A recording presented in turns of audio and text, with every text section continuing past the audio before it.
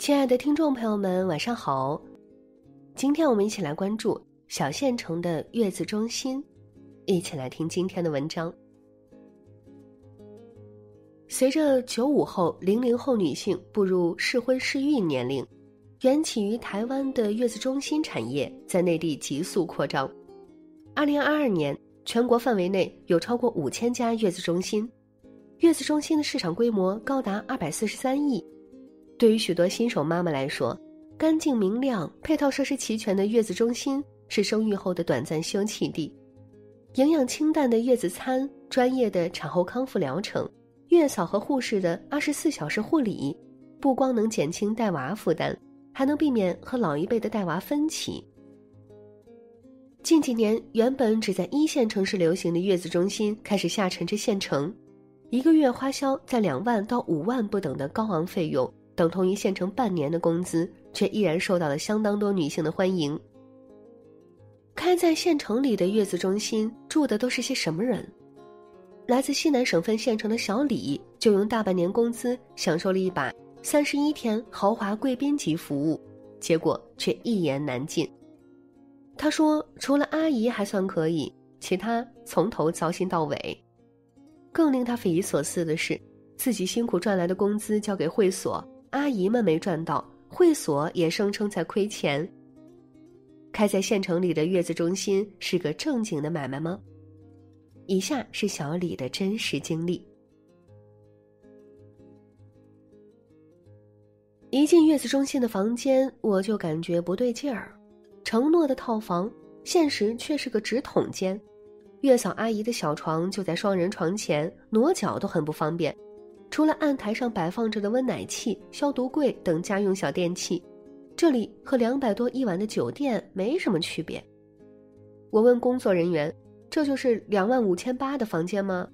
他说：“是的。”说好的免费医院陪护，临了才说要加钱。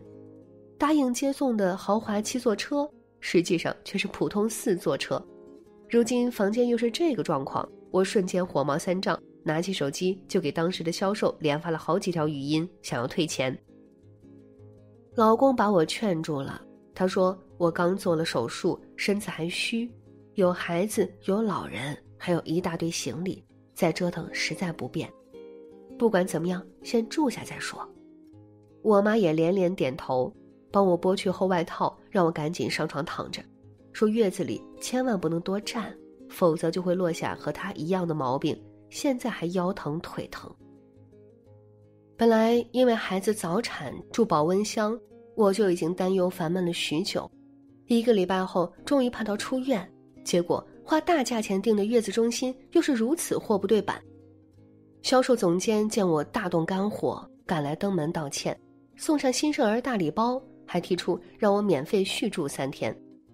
只是这份补偿需要用他的文案连发七天朋友圈才能兑换。我不愿意，老公赶紧息事宁人，说他来发，只要我不动气就行。这是我们县最大的一家月子中心，号称斥资千万打造的豪华会所，整整三层，里面据说有四十多项产康理疗服务，有五星级酒店来的大厨，还有 KTV、影音厅、瑜伽房等活动空间。当时抖音上的宣传铺天盖地，我无意中刷到，问了句价。便加上了销售，被他轰炸个没完。今天是开放日，明天是新品品鉴会，后天签约就送产康大礼包。经不住他的连珠炮，终于我们还是去看房了。当时去的晚，没有上楼看房间。再去时是老公交的定金，我也就不清楚具体房型。总之，销售吹得天花乱坠。女人一辈子就这么一次，不对自己好点儿，简直天理难容。自从怀孕之后，我便一直有去月子中心的想法：一来娘家太远，母亲过来照应不便；二来婆婆身体虚弱，平日出门都累得气喘吁吁，何况是看孩子。在我们这十八线小城，好点的月嫂都得月薪上万，而且只做产妇的餐，七七八八算下来，和住月子中心也差不多。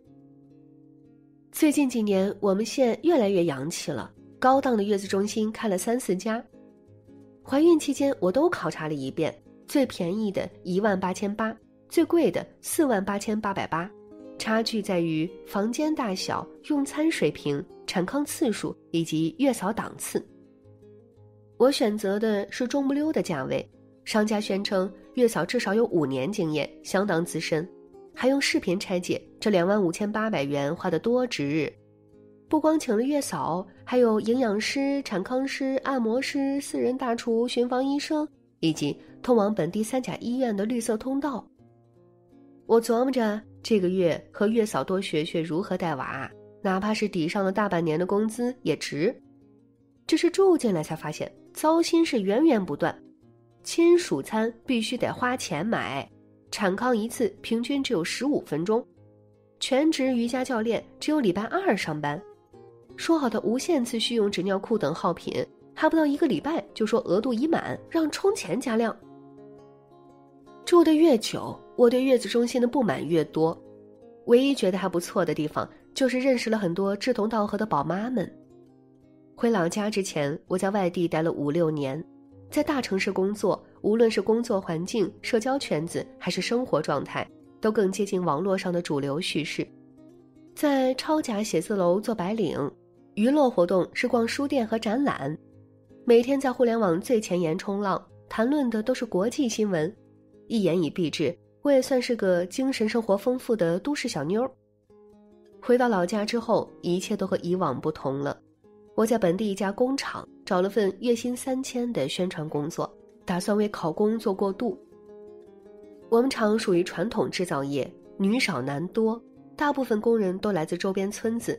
下了班还要回家种地，工厂大姐们通常都是我妈的岁数，没几个和我谈得来，而办公室里的小姑娘也都早早结了婚。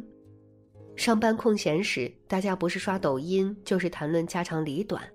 作为罕见的几个大学生，我在这里显得格格不入，平常也没什么知心朋友。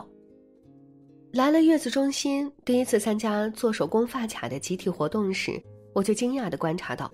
十个妈妈里八个都戴着眼镜，大家说话都很斯文，普遍受过良好教育的样子。工作人员让我们做自我介绍，我发现，在这个人均工资两千二的小地方，能花两三万住月子中心的宝妈，要么是老师、律师，要么是公务员和国企员工，还有一些是做生意的人家。只有我一个人是厂妹，自我介绍时都不好意思说自己的职业。大家住进来的理由各不相同，有家里缺人照顾的，有外地嫁过来怕习惯不了本地风俗的，还有一胎没做好，二胎来享受的。归根结底，都不愿经历婆媳矛盾。这年头，大家都活明白了，能用钱解决的事儿，尽量不要牵扯人情。据我们家月嫂介绍，绝大部分人家都是婆婆出钱，妈妈陪护。当然。公婆基本上也都是有退休金的老人，和我年龄相仿的宝妈们大多是家里的独生女，双方父母都盼着孙辈到来，花钱自然也舍得。听说住三个月算多的，最少的也有二十八天。还有一户很土豪，家里长辈发话，让孩子一直住到来暖气了再走。要知道当时还是大夏天。有人的地方就有江湖。作为产妇们休养的福乐窝，月子中心内部也迅速凝结成了新的社交圈。在这里，你的受欢迎程度取决于你的职业。最受追捧的职业是教师。一次做产后康复时，我听到洗头的工作人员和一位宝妈聊天，得知那位宝妈是我们县一中的政治老师时。工作人员立马换上笑脸，要添加对方的微信，说自己的儿子马上读高二，郑州以后该选哪条路？这回正好来了专家啊！和我关系最亲近的乐乐妈，也是因为职业和我相近，她是本地电视台的记者，经常去各地跑新闻。我原来也在地产财经类媒体做过，两个人有说不完的共同话题。熟了以后，乐乐妈忍不住和我吐槽。说她本来订好了省会的一家月子中心，结果婆婆非说找个离家近的，现在天天往这边跑。本来花了大价钱来月子中心，就是为了不想看见婆婆，如今仍得每天面对，真是不如雇个月嫂回家。在月子中心负责照顾我们家的阿姨很健谈，五十出头。自我介绍时，我得知她是隔壁县的，在这行已经做了五年。因为家里两个儿子都还没成家，经济压力巨大，所以选择来做月嫂。见她照顾孩子挺细致，我萌生了带她回家的念头。我去护理部找主管要人，他们和我说，阿姨是金牌档，叫价一万三千八。我内心暗吃了一惊。阿姨曾和我婆婆聊天，说自己每月能拿到手的工资顶多五六千，相比之下，她的工作量称得上巨大。新生儿三个小时喂一次奶，一天换十来片纸尿裤，他得二十四小时看着，一天连看手机的时间都没有。饶是如此，会所严格的扣钱制度让他们做错一点事都得乐捐，取餐不及时扣钱，孩子护理不到位扣钱。如果出现呛奶、湿疹、红屁股等问题，第一责任人也是他们。除了日常护理，月嫂们每天早上还要开早会，晚上开培训会，迟到一次都会被批评。我家孩子需求高，时时刻刻得抱着哄着，导致阿姨耽误了很多次开会，我非常过意不去。所以会所逼着他向我们家推销各种东西时，碍于情面，我都签字了。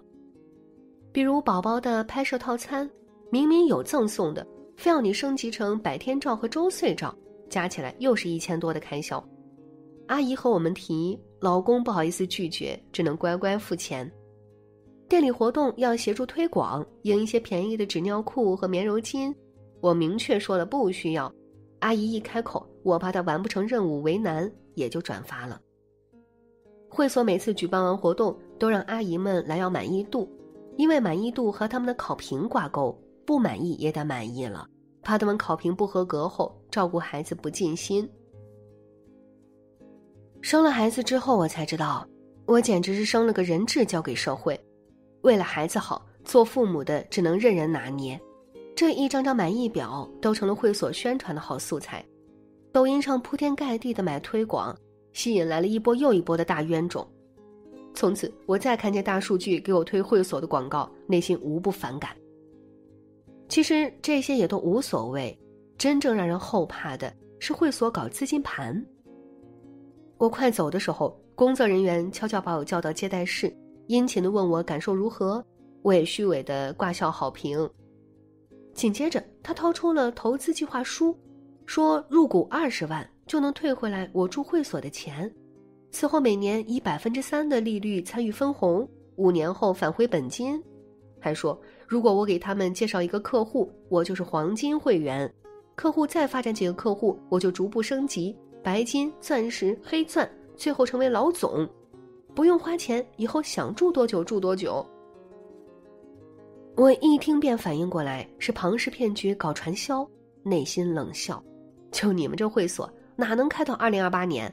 不过嘴上还是推脱着说家里经济紧张，婉言谢过了他的好意。他穷追不舍，说这可是正规项目，本地的银行有参股，还给我展示过往投资的客户，说有好几个都是我们小区的。入住前他已经把我的信息摸了底，知道我住在这片最贵的楼盘，里面还有片别墅区。只不过他不清楚那房子是我租的。我越听越不耐烦。本来是来月子中心躲清静的，结果整栋楼的孩子放在一起，哭起来震天撼地，一夜也睡不了个囫囵觉。两万五千八的套餐，以为一箩筐包圆了，谁曾想又花了不少冤枉钱。终于盼到快回家了，还要再敲诈我一笔。月子中心不如改名叫做诈骗中心算了。我干脆的打断了他，结束了这糟心的月子之旅。回家后，我在微信上和阿姨聊天，她告诉我，这传销路数已经实行好几年了，老板只要瞅准机会就宣扬，还鼓动他们全员参加。那个满嘴没一句实话的销售自己就投了二十万，每天巡房的主管大夫也投了十多万。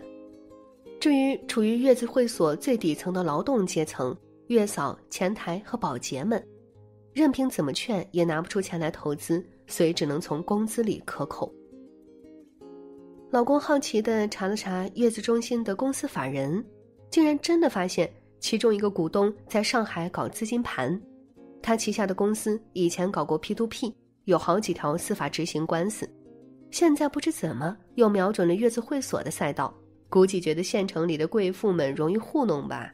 毕竟这几年小地方的消费水平正积极向大城市靠拢，只不过能挣到钱的生意还是少数。月子中心这门生意在县城并不好做，县里曾有一套知名的别墅区房子低价出让，我图好奇和老公去看房，去了才知道那是一家开不下去的月子中心，老板正在赔钱卖房。上下三层小楼被改成了七八个房间，每一个房间的装修都是酒店风格，负一层还保留着婴儿游泳池和产妇按摩床，户主说。只要买房，这些全送。我问他，月子中心不挣钱吗？他摇了摇头，苦笑一声：“这年头什么能挣钱？”他说的是实情。事实上，在这门很多人想象中的暴利生意里，作为分母的大多数人远没有那么光鲜。听我们家的阿姨说，我住的这家月子中心，光装修费就花了七八百万，每年房子的租金一百一十万。员工工资加上运营成本，算下来一年积累要至少一百个客户才能保证现金流正常运转。前期成本投入堪比省会的月子中心，但县城的人口不过四五十万，哪里来这么多有钱人？我去社区建档时，听工作人员说，去年一整年我们小区才不到三十个孕妇。更何况年初很多人阳了，都打消了备孕计划。我临走前最冷清的那一阵，月子中心整层楼只有四户人家，连平常参观的准妈妈们都没有了。有一次，运营小姐姐让我们下楼去拼乐高，当时一个妈妈奶孩子，一个妈妈睡觉，另外一个接待亲戚，只有我一个人参加。运营小姐姐和我面面相觑，说今天是我的 VIP 专场，我则开玩笑唬她。说明天我不来的话，你就赶紧跑路吧！你们这月子中心马上要倒闭了。坐月子期间，有未婚朋友来看我，环顾四周觉得不错，问我花费。我把孩子住院、各种备品以及月子会所和回来请阿姨的钱细细一算，发现至少得五万。朋友吓得连连摆手，惊呼他可生不起。本来也不想生，现在更是没钱生。我说，这还没算将来早教班、幼儿园、寒暑假四处旅行的开销，生孩子花费这么大，难怪没人愿意生了。刚说完，我就预感到，这开在县城里的月子中心，注定是个赔本的买卖呀。月子中心不是杀猪盘生意。好了，亲爱的朋友们。今天的文章就和你分享到这里。如果你喜欢这篇文章，欢迎把它转发到朋友圈。感谢你的收听，我们下期再见。